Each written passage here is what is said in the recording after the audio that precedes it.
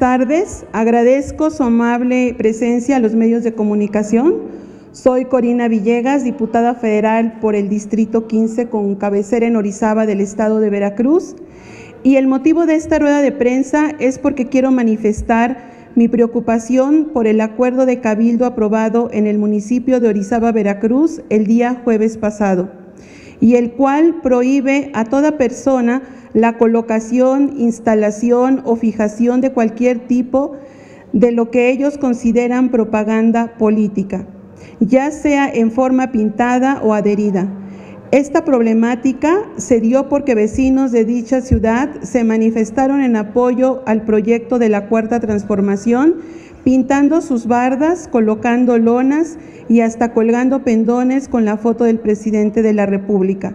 Sin embargo, es importante manifestar que dichas pintas no mencionaban a partidos políticos o llaman a votar por algún candidato.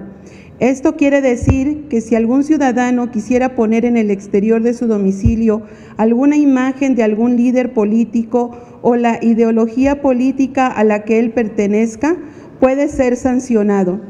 Esto es claramente violatorio del derecho constitucional y humano de la libre expresión, ya que el artículo sexto de la Constitución dice, la manifestación de las ideas no será objeto de, ningún, de ninguna inquisición judicial o administrativa.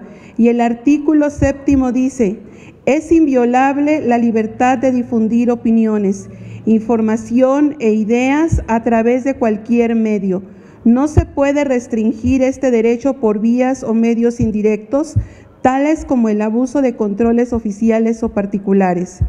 Y el segundo párrafo de dicho artículo menciona, ninguna ley ni autoridad puede establecer la previa censura ni coartar la libertad de difusión que no tiene más límites que los previstos en el primer párrafo del artículo sexto de esta Constitución.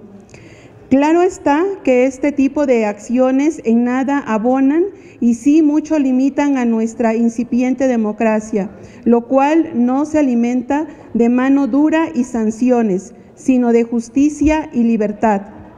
Por las razones aquí expuestas, las y los diputados del grupo parlamentario de Morena que aquí me acompañan, exhortamos respetuosamente al honorable cabildo del municipio de la ciudad de Orizaba a respetar el derecho a la libre expresión contemplado en nuestra Carta Magna.